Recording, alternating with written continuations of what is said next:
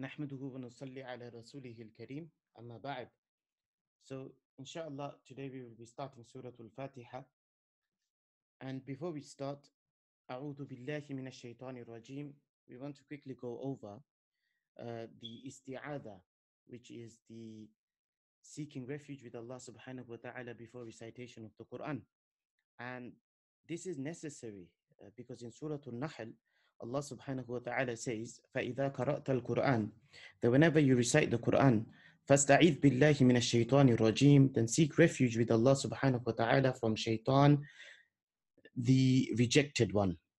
Now, what does أعوذ بالله من الشيطان الرجيم mean? It starts off with the first word is أعوذ, uh, which means to seek refuge, that I seek refuge, that I seek protection. And this is necessary for a person when they are reciting the Quran because it could be so that the Quran, instead of being used as a guidance, the shaitan can actually deceive us and make us into thinking otherwise and misinterpret the Quran. So it's necessary that whenever that we are trying to understand the Quran, whenever that we are reciting the Quran, then we must say A'udhu billahi minash shaitanir rajim. Now, A'udhu, here we're seeking refuge or seeking protection. With who? With Allah subhanahu wa ta'ala. And Allah, the word Allah is Ismul Azam of Allah subhanahu wa ta'ala. It's the most unique name of Allah. And this is the name which comprises all the meaning which we find in the 99 names of Allah subhanahu wa ta'ala. Minash shaitani rajim is from shaitan. Now, shaitan is the name of Iblis. Um, it is the laqab of Iblis in the sense that Iblis has now become a shaitan due to him disobeying the orders of Allah subhanahu wa ta'ala and then challenging Allah subhanahu wa ta'ala that he may um, misguide human beings. Ar-Rajim literally means the rejected one because we know that from the court of Allah subhanahu wa ta'ala, shaitan was rejected. Then we go into the surah in itself and this surah is called Surah Al-Fatiha and the name Surah Al-Fatiha comes from uh, one of various places, and but this is not the restricted or the only name of the surah. Imam Qurtubi rahimahullah he brings actually 12 names for this surah, and some of some of them are synonyms for others, um, but the surahs each name actually comes from different ahadith, different parts of the Quran, and comprised together uh, these names can all refer back to Surah Al-Fatiha. However, when we look at this surah, the most mashhur name, the most famous name is actually Surah Al-Fatiha. And the Al-Fatiha literally means the opening one or the beginning, um, something. And that is because that whenever we start the Quran and the recitation of the Quran from this order, the order that Rasulullah set out, the order that Usman radiallahu ta'ala anhu actually um, put together and he wrote down. And that one starts with Al-Fatiha, the opening. And because it starts with this surah, this is now named Al-Fatiha. However, there are three other famous names or two other famous names alongside with Al-Fatiha that are used um, by the Mufassirun and the scholars of the Quran. The other name is Umm al-Kitab, which is the mother of the book, and it's referred to as Umm al-Kitab, and mainly because the, you could say that the Surah Al-Fatiha comprises of everything that the Quran has to offer, all the guidance, all the um, usul, all the principles that the Quran has to offer is inside the Surah Al-Fatiha. So this is why some scholars have um, favored the name Umm al-Kitab over others. Also, another name is As-Sab'ul Mathani, the seven oft repeated. And we know this because there are seven ayats in the Quran, and we know that many, many times in a day, especially in the 17 raka'at of Fard Salah, one is required to read Surah Al-Fatiha. And then in the Nawafils, in the Sunans, and um, for many other reasons, a person reads Surah Al-Fatiha. And it's almost like an anthem it's almost like a um, such such a repeated ayat that you can now call it the seven repeated ayats of the Quran, and it's referred referred to like that um, in the Quran in itself. Now we come to the surah, and the surah is actually a Makki surah. Now, when we go into understanding the uh, understanding the Quran, we want to, to make one thing clear from the beginning, which is that some surahs are Makki and some surahs are Madani. The Makki surahs are the ones that have been revealed um, in Makkah al-Mukarramah, while the Madani surahs are re- uh, were revealed in Medina. But when we say Makkah or Medina, we mean before Hijrah, some of these surahs were revealed, and those are known as the Makki surahs. And after Hijrah of Rasulullah sallallahu alaihi wasallam, uh, some of these surahs were revealed, and these are called Madani surah. Now, what's the key differences between the two? It's the topic of the surahs. The Makki surahs, we usually will talk, talk about Aqidah issues, about Akhirah, Jannah, Jahannam, about refuting shirk, um, historical issues, about how other nations were. And however, the Madani surah actually will talk about the ahkam, the rules and regulation Allah subhanahu wa ta'ala has put for the human beings or in specific for the Muslims. Now, this is the key difference between the surah, and this is why whenever we see a pattern within these different surahs, we will see that um, some of these surahs focus only on the Aqidah issues, only about refuting shirk. However, other surahs, they're always um, talking about the ahkam of Allah subhanahu wa ta'ala, some orders that are specific for the Muslim and the Prophet sallallahu alaihi wasallam. And this is a very important aspect to understand the theme of the Quran and in specific the theme of the surah itself. Now, the surah starts off with Bismillahir Rahmanir Rahim. However, some scholars have said that Bismillahir Rahmanir Rahim is not part of the surah. So, in general, when it comes to um, recitation of the Quran, we know that most um, we know that mostly Bismillahir Rahmanir Rahim is counted amongst many mushaf, many copies of the Quran as the first ayah. So Bismillahir Rahmanir Rahim means in the name of Allah, the most merciful or the most beneficial, uh, the all merciful. Now, Ar-Rahman, Ar-Rahim, before we go there, we want to start off with Bismillah. Now, Bismillah means in the name of Allah. And this sentence is literally starting off with the action that the person is doing being hidden which means that I begin in the name of Allah. It could be I am reciting in the name of Allah. And in other instances, when we use the word Bismillah um, for whatever action that we're doing, it means that the the chosen fi'l or the hidden fi'l is actually the hidden verb. Uh, the hidden action is actually the action that we were we are doing. So, for example, if a person was to be eating and he says Bismillah, means Akulu Bismillah, meaning I am eating in the name of Allah. Now, Bismillah, the word ism um, is the first word, and the alif in the ism is actually dropped. And this was dropped originally in the first copy of the Quran that was written by Usman radiallahu ta'ala anhu. And this is why this tradition continues. Uh, otherwise, if you look at the, in, in general, the rules of khat, which is the rules of writing, you would normally add the alif before the sin. But however, this has been dropped and traditionally um, in the Arabic language, this continued to be dropped throughout the ages. So we have in the name, in the name of Allah subhanahu wa ta'ala.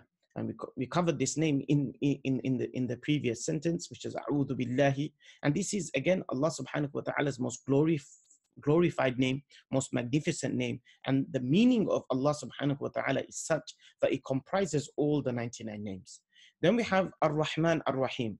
Now, from face value, if you look at it just from a linguistic perspective, Ar-Rahman and Ar-Rahim are supposed to be two synonyms two words that almost mean the same thing. However, the Mufassirun, they have uh, clarified or they have differentiated between the two, uh, between the two names. Ar-Rahman, they say that it means Allah subhanahu wa ta'ala being all kind or all beneficial. And that extends to every single person or every single being on the face of this earth. And regardless if this person obeys Allah subhanahu wa ta'ala or not, Allah subhanahu wa ta'ala's rahman, rahmaniyat or Allah subhanahu wa ta'ala's uh, uh beneficial, uh, Allah subhanahu wa ta'ala being beneficial or Allah subhanahu wa ta'ala being kind extends to all of those beings. And this is why one of the reasons why we see those people who disbelieve in Allah subhanahu wa ta'ala, these people are still given the chance to breathe, these people are still given the chance to live in this uh, dunya um, hatta until a set appointed time. However, the word Ar-Rahim is more specific, and the ulama have said that Ar-Rahim is Allah subhanahu wa ta'ala's mercy. He's such a mercy that will extend on the day of judgment only towards the Muslims. And this Rahim, it's so powerful that Allah subhanahu wa ta'ala will use his Rahim sifa, that attribute of his being Rahim, to enter the mu'mins in Jannah, even though many people or most people do not deserve uh, or haven't acquired Jannah for themselves. Then we go to the core of the surah, and uh, like we mentioned, many other names for the surah. Sometimes we can call the surah itself Alhamdulillah as well, or Alhamdu. And the, the beginning of the surah starts off with Alhamdulillahi, and here it means all praise is due to Allah subhanahu wa ta'ala. Now, the meaning of the word praise, it's not thanks, um, because some people think that praising is to say thank you. And that's not the case because thanks requires a person to do something for us to uh, reply back. So if someone does something for you, then you would say thank you for that, or you would thank the person. But in this case, when we say that praise belongs to Allah subhanahu wa ta'ala, before any good has reached us, Allah subhanahu wa ta'ala is already due the praise. And this is why we see that Alhamdulillah is one of the greatest form of zikr. And we know that it's one of the greatest form of zikr. So he starts off with Alhamdulillahi, all praise is due to Allah subhanahu wa ta'ala. Rabbil alameen, Allah subhanahu wa ta'ala being the Lord of the whole universe or the Lord of all the creation. Now the word Rabb comes from a person who owns something as well as a person who nurtures for something, looks after something. So when Allah subhanahu wa ta'ala is being reflected as the Rabb, when Allah subhanahu wa ta'ala is being described as the Rabb, it means that Allah subhanahu wa ta'ala does not just own the whole of the creation, but Allah subhanahu wa ta'ala, also nurtures the whole of the creation. And this is a very important attribute of Allah because for us to understand who Allah subhanahu wa ta'ala is, it's necessary for us to understand his rububiyyah, how much of a Rabb he is, or how he is actually nurturing us, how he is sustaining us, how is he, how he is making the whole dunya for us. Now, al-alameen, the word alameen comes from the word alam, and the word alam means the world. And alameen is the plural of the word world. So it's worlds. Now, in modern day, uh, we would call that universe. So Allah subhanahu wa ta'ala is the Rabb or the Lord of the whole universe. Then the next ayat goes into Ar-Rahman Ar-Rahim. Now we're repeating the same ayahs that we repeated, uh, the same bits or the same parts or the same names that we repeated in Bismillahir Rahmanir Rahim. And we will continue to um, translate this as normal, which is Allah subhanahu wa ta'ala is all merciful. Allah subhanahu wa ta'ala is all beneficial. Now, Maliki Yawmiddin. The word Malik, and some scholars, um, some scholars of the Quran, they read it as a Malik. Now, the word Malik and the word Malik, if you combine both meanings, it means um, a person who is in charge and a person who is in control as well as ownership.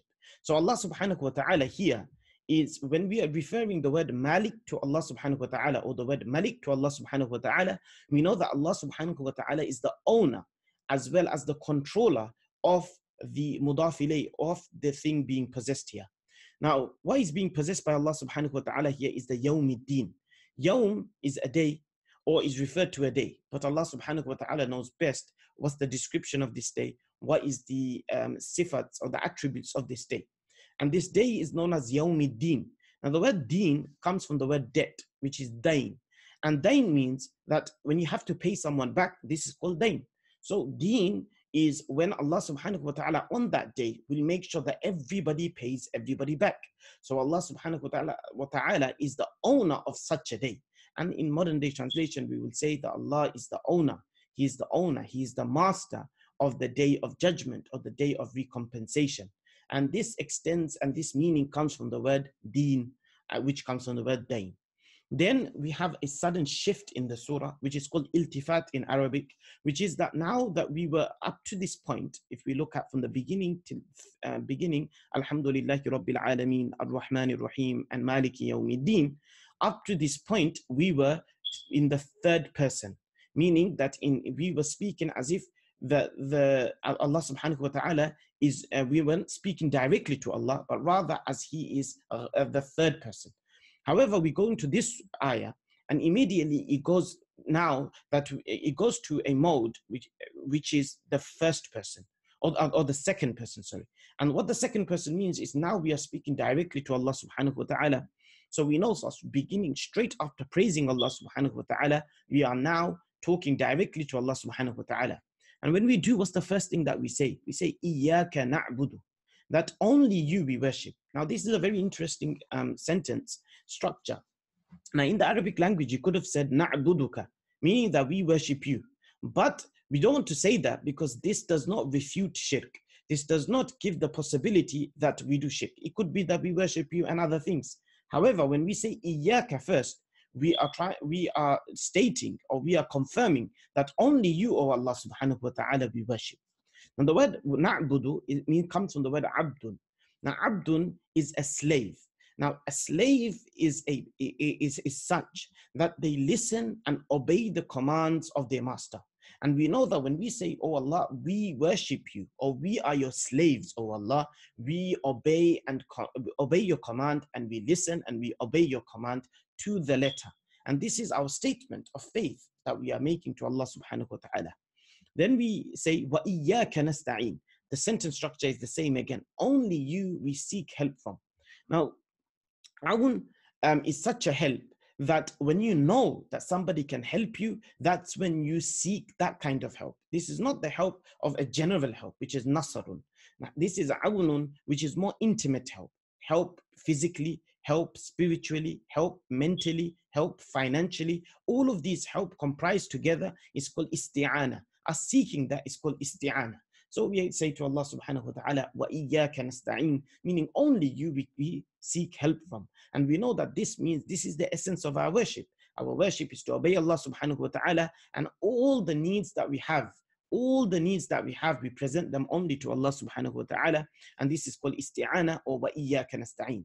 Then Allah subhanahu wa ta'ala takes us through a journey within the surah now into asking him. So first we acknowledge the fact that Allah subhanahu wa ta'ala is the one who's due um, who's due praise. Allah subhanahu wa ta'ala is the Lord of the universe. Then we acknowledge the fact that Allah subhanahu wa ta'ala is the most merciful.